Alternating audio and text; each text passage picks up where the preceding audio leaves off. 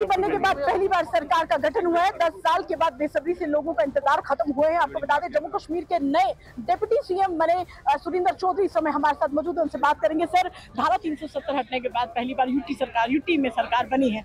कितनी चुनौतियाँ रहेंगी काम करने में?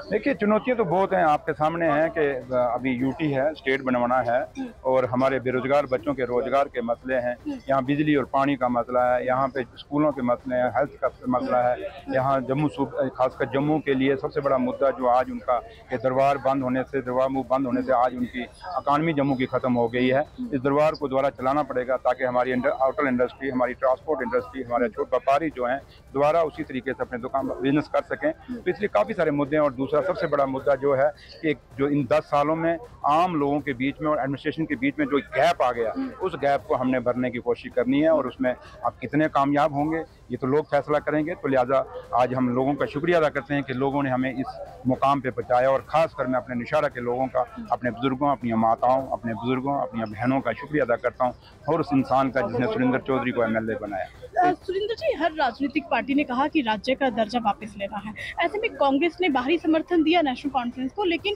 वो सरकार में शामिल नहीं हुए। उन्होंने भी कहा कि राज्य का दर्जा पहले वापस लेना प्रायोरिटी है। आप क्या कहेंगे देखिए मैंने कहा ना ये हमें गलतफहमी है कि कांग्रेस अगर सरकार ये इंडिया अलायंस की सरकार है। ये नेशनल कॉन्फ्रेंस की सरकार तो है ही है। हमारे चीफ मिनिस्टर साहब में डिप्टी चीफ मिनिस्टर लेकिन इंडिया अलायंस की सरकार है। आपने देखा पूरी इंडिया अलायंस की सीनियर लीडरशिप जो हिंदुस्तान से यहाँ चल के आई है वो उन्होंने एक मैसेज दिया है कि उमर साहब को पूरे इंडिया अलायंस का जो ब्लॉक है पूरा उसकी लीडरशिप की सपोर्ट है। तो लिहाजा आप मसले तो बहुत हैं आप, आपके सामने हैं कि जैसे हमें चुन हम चुने हुए लोग आए हैं, हमें लोगों ने चुना चुना है और ये जो सरकार बनी है, ये नॉमिनेटेड सरकार नहीं है। या हम कोई अगर यहाँ एम एमएलए बने तो कोई नॉमिनेटेड एमएलए नहीं बने।